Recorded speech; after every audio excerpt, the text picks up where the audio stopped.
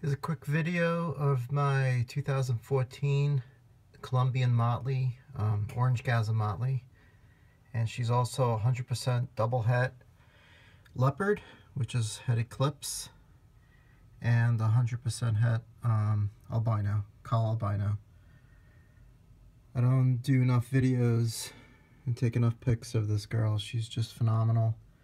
Uh, she was produced by Joe Consolini, JPC Boas, and I also owned um, two of her siblings, um, a male and a female Orangasm, uh, Sunglow Jungles that are also 100% het leopard.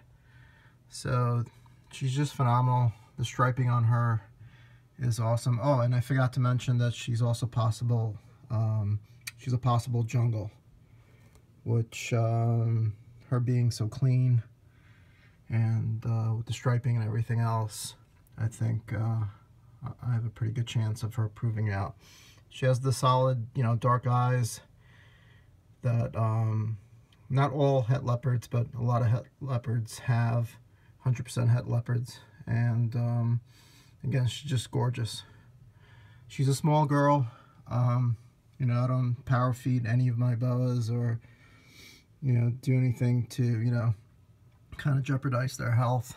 Um, everybody's healthy and and and you know nice and fit, but um, she's small, much smaller than her uh, sister, who's a, a Sunglow Jungle, 100% um, het leopard.